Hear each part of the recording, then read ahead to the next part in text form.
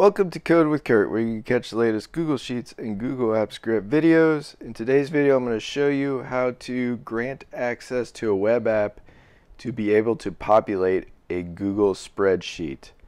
So with my web app, I'm doing a form where you populate the address for a certain person.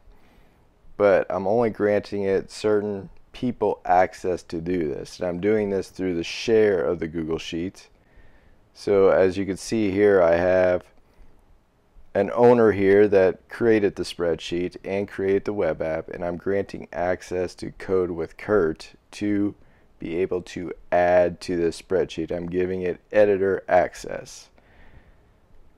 So I'm going to go over and to my Code with Curt account and access the web app. So here I'm into accessing the web app I am logged in as Code with Curt and now I can put a name in here.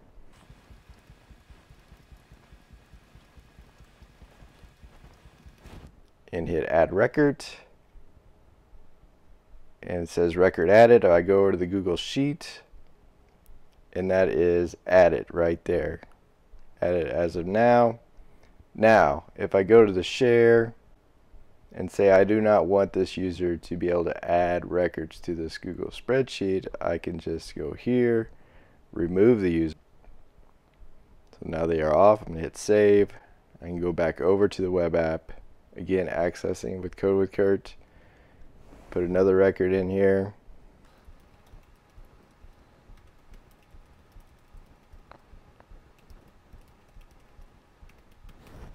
If I hit add record, I'm going to get an error. It says you do not have permission to access the requested document. So that prevents me from adding a record to the Google Sheet. So this is a way to password protect your web app for adding records to a Google Sheet. So, so I'll give a step-by-step -step process of how I put this together. If you're new to this channel, subscribe to catch my latest videos. Started with this video. Here I'm on my new Google spreadsheet. I have it named web app login email. I have a header record of first name, last name, street address, city, state, zip, created by, and creation date. Just a header record, no other formulas or other data. And my sheet name is called data. Next, I'll go in my Google App Script. I'm going to give it a name.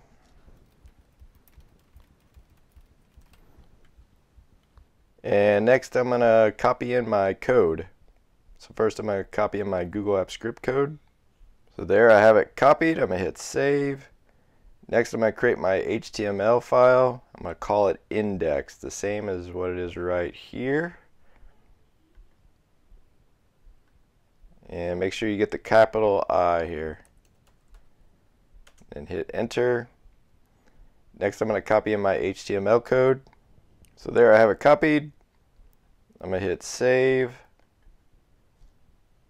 Next I'm going to go through the code explain how it all comes together. So the first is the do get. The do get is how you deploy a web app. This is like a standard function for deploying it. And the first thing I'm doing, I'm grabbing the active user email.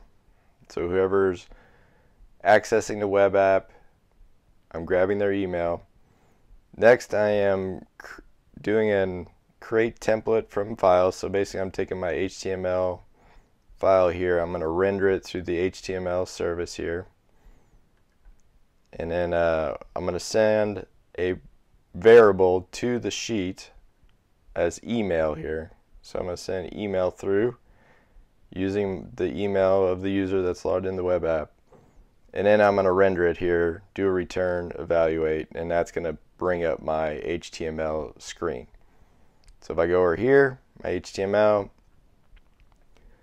uh, I got started here with the, the Bootstrap CSS library here. And then next I got my script, what I'm going to be calling. I'm going to skip through that. I'll go through that later. And then the end my head, header tag, start my body tag. Then I got my web app login. That's my header Uh, the next thing is I'm going to show who's logged in. And again, I'm passing in that email from the previous function. I'm going to display it right here, right there using these tags here. And you can only do that when you're doing the create template from file right here. Then you can, gives you the access to using this type of syntax here, you could display parameters that you send to the sheet. So I'm displaying the email, and then from there I got my form set up with first name, last name, street, city, state, zip, and then I got my button down here with the add row, calling a JavaScript function to do that.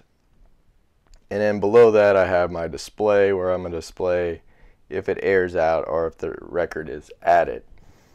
So again, I'm using Bootstrap, CSS, and from there, th these are the classes from that. I'll put a link in the description to Bootstrap to further detail what all these do. Also, I will put the link in the description for the code for this project as well. So the next thing is when uh, you fill out your form, you hit add row right here, or you hit your button, add record. It's going to call add row here. So if I go up to the top, I got my add row function here. So then from there, I'm clearing out the display.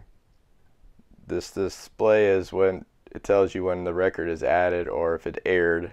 But if you're doing multiple ones, you want to clear out the one previous. So we're just going to clear it out, make sure it's clear. Then we're going to grab our first name, last name, street, city, state, and zip. Next, we're going to do a Google script run.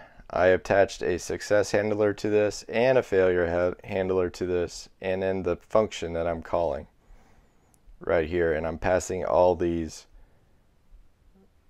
variables to the Google App script in which I'm calling. So this Google script run calls a Google App script function. So if I go over here to code.gs. I got my add record here. Here's my first name, last name, street, city, state, zip coming in. I'm grabbing the user email again, doing that.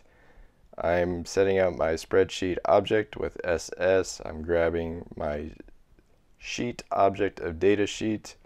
And then from there, I'm appending a row with the first name, last name, street, city, state, zip, I'm passing my email as my created by and then my date, just the date to record when I entered the record.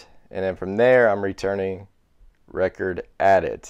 Now if I go to by, and what I'll do is I'll take the next blank row and add it on here, that append, that's what it does. So I'm appending a row, the next available row, and it just kind of keeps building on from that. So again, we're returning record, add it back to our HTML. So if it was success, it's going to go to the successful handler and it's going to call on success function up here. And it's going to bring through the message, which is my record added. But on top of that, I'm going to clear out all the records previous. That way, when we could start a new record right away and I don't have to clear out all the fields. And I'm going to take that message and display it on the display tag down below here so it shows up so we know it, the record added. So say the user did not have access to the Google Sheet, it's going to hit this failure handler right here. It won't even really call the function here. It won't even get to this point. It'll automatically realize that this function already appends a row to this data sheet and if you don't have access it's not going to let you call this function. So it's going to kick out it's going to go to my on failure up here and it's going to pass the error. Now the error is generated by the Google app script. It's a standard error. So what I'm basically doing is taking that error getting the message from it which is like an error as object and I'm getting the message from the object passing it in to the display down below right here. So if they don't have access to the spreadsheet, it's going to kick out and display the error. So that concludes this code. And then the next I'll show you how to set up the web app to make this all kind of come together. So I'm going to go here to deploy. I'm going to hit new deployment. I'm going to go over here. It's like the setup web app. We give this a name. Just call it new.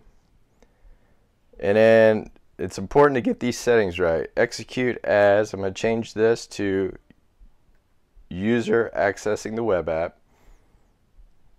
So basically, anytime someone goes to a web app, you're going to have to go through the permissions to run the web app, just like any user would, or just how I'm going to get this going. You're going to need to do that permission thing for any user to access it. The next thing, who has access? I'm going to put anyone that has a Google account. So this is going to require somebody to have a Google account to access the web app because they're going to come in with their permissions. Then it's going to go through the permissions to allow them to use the web app. And then beyond that, you're controlling them to be able to add to the Google spreadsheet. So there I have it set up. I'm going to hit deploy. And then I'm going to click here for my deployment. It's checking if I have permissions to run this web app. Even though I'm the owner, I still have to go through the permissions to do this. So here I'm going to review my permissions. So every user will get this, every new user will get this display coming in for the first time and they'll have to do this.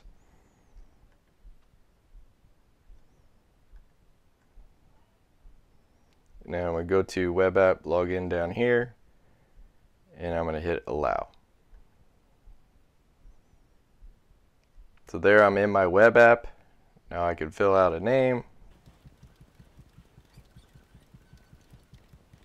There I have it filled out. I can hit add. And it lets me add it in there. I can go to my Google Sheet and the record is added.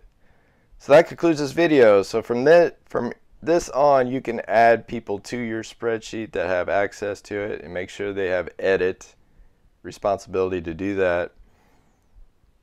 So you can add people in here, give them edit responsibility, and then they're allowed to add records to the sheet. So that concludes this video. If you have any questions or comments, please leave it below the video. Until next time.